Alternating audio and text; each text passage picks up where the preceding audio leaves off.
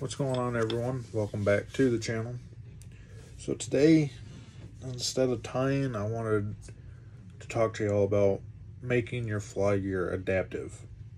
Because there's really nothing out there on the market. There's some some things out there for conventional gear, but not so much for fly fishing gear.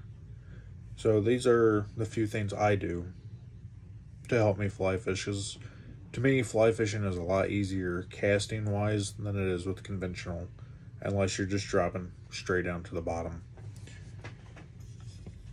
I have my seven weight, and one of the first things I did was I got some of these knuckleheads from Mad River Outfitters. This makes it bigger, it gives you more of a, a purchase on it, because like I've said, I can't grip, I can't, I don't have any pinch, so that helps me reel in or fighting a fish. And I have have one on my seven weight and my 10 weight. I gotta get one for my eight and my five. But that makes a big difference instead of trying to grab onto a little bitty handle. You have this foam piece that makes it a lot. You know, you can really get on there and crank on crank on it instead of your hand slipping trying to grab onto that little thing.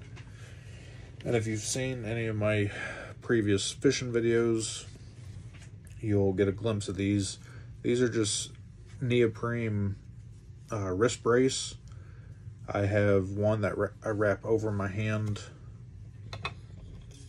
up top here, so I'll get my hand wrapped around the rod, and then I'll have it wrapped to where it keeps my hand gripped onto the rod, and then I also put one on the back just to help stabilize it to where I can cast.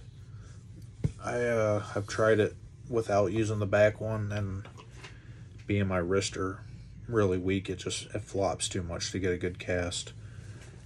So the knuckleheads and the wrist brace are a really big help.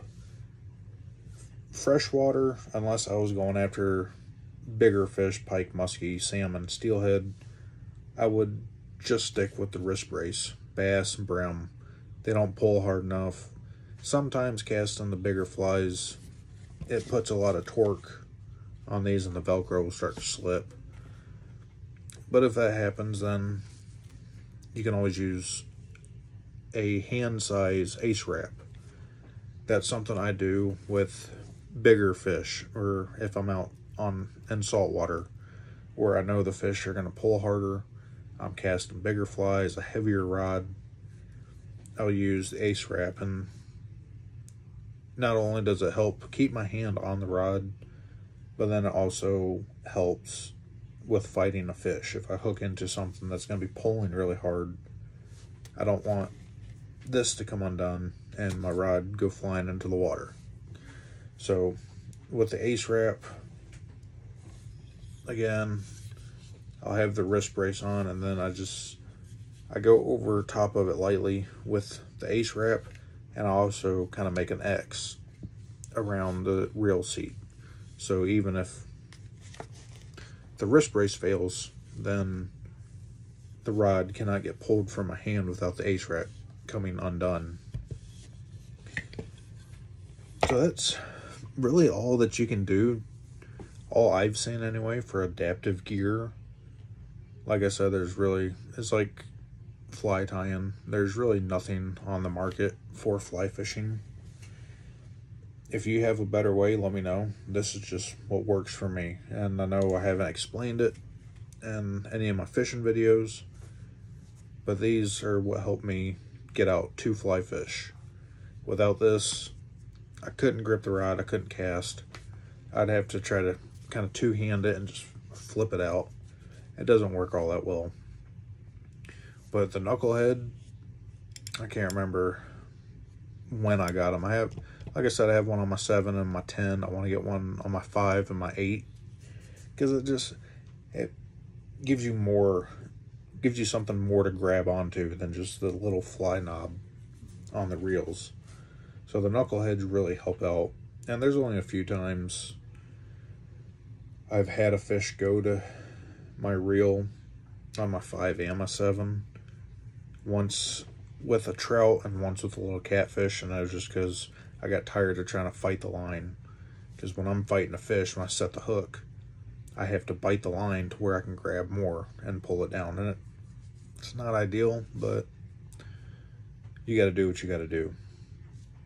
And like I said with the wrist brace, casting heavy, heavier flies, bigger flies, salt water, you know, with like a 10 weight, there's a lot more weight on the tip of that rod with that line.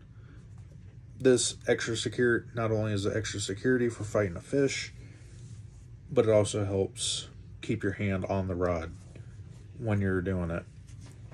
Because I've had it where with like a bigger bass bass bugs, uh, the Dahlberg diver, the torque of the rod will, the Velcro will start pulling off and makes it kind of annoying when you get a good cast and then you have to stop and reattach the Velcro.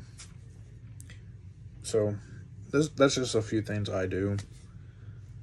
Uh, I know I haven't done any tie-in videos. Those probably resume next spring. Unless uh, I really see something I like. It's hunting season has started, so gonna be doing some hunting videos. We'll have a surprise that I will reveal reveal here in hopefully sooner than December. The expected delivery date is December, but hopefully it'll be sooner. So I'll have something for that. Then about two weeks, our muzzleloader season opens for deer, and I will be trying my best to film to film that. I'm still trying to figure it out with the GoPro. And eventually I'd like to get a better camera so y'all can actually see what's going on. But for adapting your fly gear to make it to where you can fish. That's really all you can do. Wrist brace, the knuckleheads. You could probably try one of the one of the brackets they make for con conventional gear. I don't know how well it would work because that stuff is usually pretty expensive. But you know, you can get these at Walmart fairly cheap. Like I said, I use two of them and then the Ace Wrap, they're also cheap.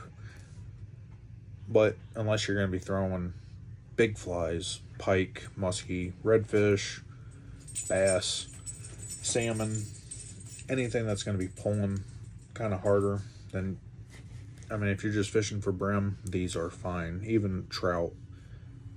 I caught some really nice trout in Carolina, and that's all I used.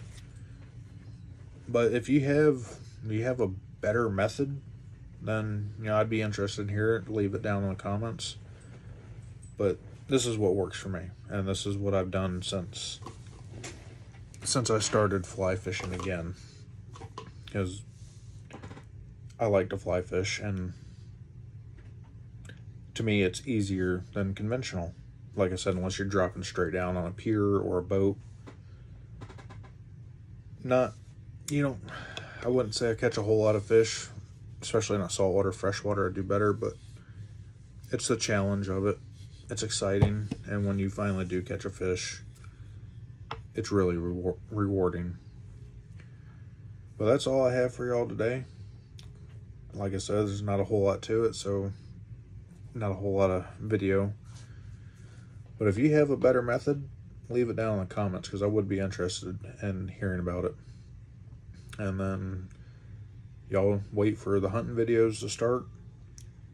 Hopefully, I'd like to say I'd like to get out and fish again, but I don't know if it's going to happen.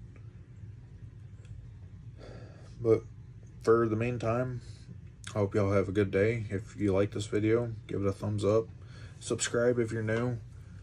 I try to try to give these instructional videos, even though they're not that great, for tying, fishing, and hopefully I'll have more hunting and fishing content coming up.